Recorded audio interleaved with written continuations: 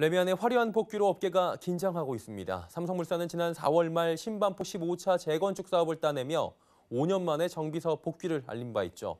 지난 주말엔 서초구 반포주공 1단지 3주구 재건축 사업을 수주하는 성과를 거뒀습니다. 한 달 새 수주액만 무려 1조 원에 달한다고 합니다. 지혜진 기자가 전해드립니다. 지난주 토요일 삼성물산은 대우건설과의 접전 끝에 반포 3주구 재건축 사업을 수주했습니다. 전체 조합원 1,625명 가운데 1,316명이 투표에 참여한 결과 삼성물산은 686표를 받았습니다. 52%의 득표율로 사업을 따낸 겁니다. 617표를 얻은 대우건설에 69표 차이로 승리했습니다.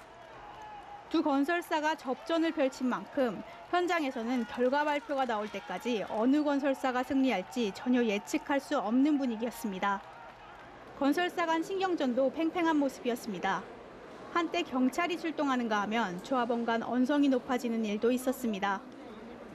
반포 3주구를 수주함으로써 삼성물산은 강남 반포 지역에서 한 달 만에 두 건의 사업을 따내는 성과를 거뒀습니다. 지난 4월 말엔 신반포 15차 재건축 사업을 수주하며 5년 만에 정비 사업 복귀를 알린 바 있습니다. 삼성물산은 2,400억 원 규모의 신반포 15차와 8,087억 원 규모의 반포 3주구를 따내면서 단숨에 수주 금액 1조 원을 돌파했습니다. 현대건설, 현대엔지니어링, 롯데건설 등에 이어 네 번째입니다. 업계에 따르면 삼성물산은 현재 용산구 한강맨션 재건축 사업과 동작구 흑석 구구역 재개발 사업에 관심을 보이고 있는 상태입니다.